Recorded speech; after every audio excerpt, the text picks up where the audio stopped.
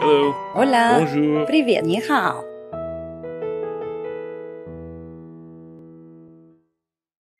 Hello and welcome to Language with Chu. This is part five of uh, the series on sounds and meaning. This is just a bit of a wrap up to show you a bit of trivia or, or actually extra things that could make you think that sounds are not all they're made to be. Um, and let's just do uh, just a couple of slides to uh, to show you that sounds maybe even have shape. Do you think so? Let's see. Well, the uh, this is just to remind you that the human auditory field goes from 20 to uh, 20,000 hertz. So what you're going to see uh, right after this means that all the frequencies that I'm going to show you are within what humans can hear.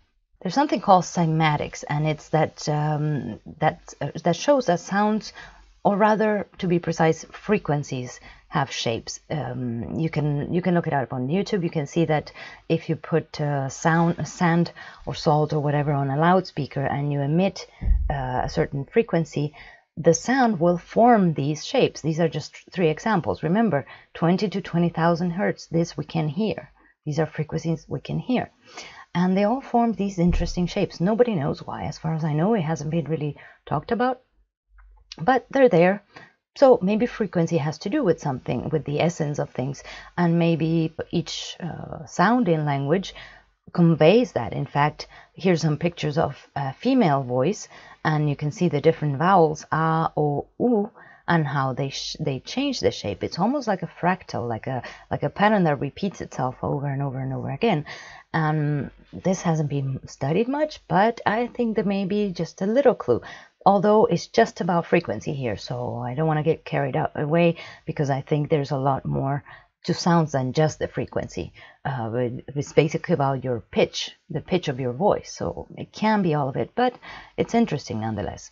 Another thing about shape is that uh, in this study, for example, they took a bunch of couples of uh, letters from different languages, some languages that you know nobody would know. In fact, if you knew them, you were eliminated from the test for that couple of uh, graphemes, th- those two letters. And they made people guess whether it was an u sound or an e sound. And what was interesting is that some of them were really, really easy to guess, even though the person really swore that they didn't know the letters. Um, it had to do with the amount of ink used, the space between the traits, and the more ink, for example, the more it was likely that the sound would be an ooh. And this is not just people guessing, but the people who created the, the, the letters or the graphemes also may have decided to represent that sound by something, uh, the ooh being heavier, let's say. So there's something about letters that usually, again, seems arbitrary, but perhaps it's not, and it has to do with the meaning of sounds. I don't know. I find it very, very interesting because when you look at all alphabets, uh, usually they tell you, well, you know, the origins are different, or this one blended with this one, but not that one, and it's all kind of like you hardly ever see them together. Really, you you study them separately, but aren't they kind of similar? Just look at these, and you'll see that there are similarities, right? It's not like um, completely, completely different. But not only that, when you see some of them that are supposedly from not even the same family and they have similarities, you start wondering, well, why is this kind of crooked here and this is kind of crooked here? Hmm, hieroglyph Arabic. Hmm, supposedly they're not related. Well, let me see. And why does this one look like a bull and then in Proto-Sinaitic again? And you're talking a big, big time in history, huh? And they changed, but not that much. So what today is an, the letter A, perhaps in the past meant a bull, an ox. Isn't that interesting? We take the letters to be just random, A, B, C, D, E. But what if they actually initially meant something like they didn't with the hieroglyphs? Not only that, but when you get to when you see prehistoric caves like the Lascaux, it's amazing one. This one is from 17,300 BC, and um, and supposedly it depicts a world myth, uh, how the world was created.